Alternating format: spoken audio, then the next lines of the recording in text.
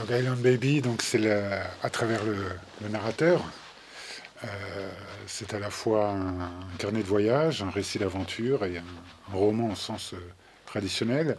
Donc ce, narrateur qui frise la cinquantaine, on va dire, qui, qui a un parcours euh, pour le moins chaotique, retrouve son demi-frère, donc ils sont nés d'un même père. Ce demi-frère est plus jeune d'une dizaine d'années, il est franco-américain. Ils se sont brouillés euh, pour de multiples raisons. Et le cadet, le frère cadet, Charlie, donc, euh, puisque c'est son prénom, décide que l'heure est venue de se rabibocher. Voilà, et d'oublier les, querelles euh, et les bisbilles. Donc ce, demi-frère, Charlie, qui a bourlingué à travers l'Europe et aux États-Unis, donc qui est, franco-américain, va se marier à New York, mais dans une partie spécifique de New York qui n'est pas Manhattan, qui est l'île de Long Island, qui est au sud de, Manhattan. C'est une grande bande de terre de près de 200 km de long, avec Brooklyn, hein, qui est la partie la, plus connue, et, le Queens. Et dans cette partie de Brooklyn, il y a un quartier qui est russo-ukrainien, judéo-russo-ukrainien, pour être précis, depuis euh, plus d'un siècle, avec les vagues successives d'immigration. Et donc, il se marie dans le quartier, dans ce quartier qui s'appelle Little Odessa, donc la petite euh, Odessa, qui porte bien son nom, euh, qui est au bord euh, de la mer, au, sud de, Brooklyn. Donc, son grand frère débarque, puisqu'il va être témoin de, ce mariage. Et son frère Charlie, son demi-frère, se marie avec une Estonienne d'origine russe, donc qui est, qui est russophone. Donc, tout ce beau monde va se retrouver dans, ce quartier pour euh, la noce, les préparatifs de noces euh, précédemment.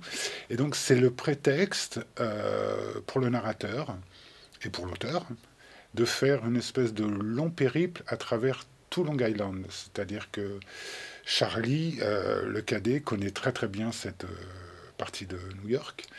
Donc ils partent ensemble et à un moment donné ils se séparent après être revenus sur des souvenirs d'enfance passés à en Bretagne pendant les, vacances d'été ou, en Normandie. Et le narrateur part seul, accompagné d'une jeune femme qui était l'autre témoin de, mariage, c'est-à-dire de la mariée, pour explorer toute l'île. C'est-à-dire, on va sur la côte nord, la côte sud. Euh, ils vont jusqu'au phare de, Montauk. Hein, c'est un peu le début de l'Amérique. C'est là que ça commence. Et je parlais de carnet de voyage parce que, en fait, le roman présente à la fois des choses euh, moins connues du, lecteur qui, s'intéresse à New York, à travers à la fois des personnages, des personnages d'aujourd'hui, des personnages d'hier, des célébrités, et des paysages. Donc on a des paysages et des personnages à découvrir. Et Long Island est une terre euh, très contrastée, c'est un peu un cliché de, de, le dire, mais on passe à... Le quartier du Queens a une partie très très agitée, extrêmement cosmopolite, extrêmement cosmopolite, où on parle euh, à peu près toutes les langues, aussi bien espagnol, yiddish, russe euh, qu'américain. Et plus on va vers euh, l'est, plus là, ce sont des grandes étendues de, terre, et on arrive dans ces stations balnéaires qui sont un peu le refuge, les résidences secondaires des milliardaires de Manhattan. Donc là, c'est vraiment une autre Amérique c'est le parfum de, la Nouvelle-Angleterre. Et donc, c'est l'occasion pour le narrateur de rappeler des destins euh, brisés de, starlets ou d'écrivains euh, plus connus, ou même de chanteurs comme Lou qui ont fait l'Amérique. Une certaine Amérique, donc beaucoup de, de vies, de destins euh, cassés, brisés.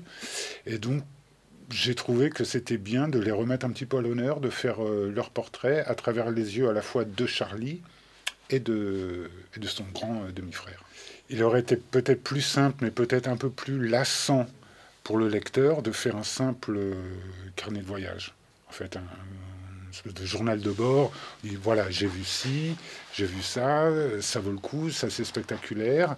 Je pense qu'au bout d'un moment, il y aurait une certaine forme de, oui, d'ennui, voire de, monotonie. Donc il fallait euh, injecter de, de la fiction, avec des personnages fictifs, ce qui est une façon de prendre le lecteur par la main, de l'accompagner dans cette, euh, dans cette découverte, en fait. Donc que ce soit des anciennes chanteuses de Broadway, des chanteuses blanches de blues, euh, comme Libby Holman, ou des, stars du striptease, euh, ou même des écrivains plus connus comme John Steinbeck, qui s'était retiré dans un petit port de pêche qui aujourd'hui est devenu une grande station balnéaire pour, pour gens aisés. C'est ce qui est le plus difficile, de concilier description, narration et fiction. Donc le, travail d'auteur est simple. Moi, je parle toujours de cartes et de plans. Voilà, avant le territoire, comme dirait. C'est-à-dire, on voit où on est, on voit les distances, on voit ce qu'on peut faire, et de ces lieux, de ces paysages, naissent ou apparaissent en fait des personnages, soit que je connaissais, soit que j'ai découvert au cours de, mes lectures, ou d'entretiens avec, euh, avec des gens que je connais qui vivent qui vivent à New York, qui m'ont conseillé bah, intéresse-toi à tel personnage ou tel, aventurier, un petit peu marin-pêcheur. Il, y a sûrement des choses à en tirer qui intéresseront le, lecteur un peu, un peu curieux qui a envie de, de s'évader, en fait.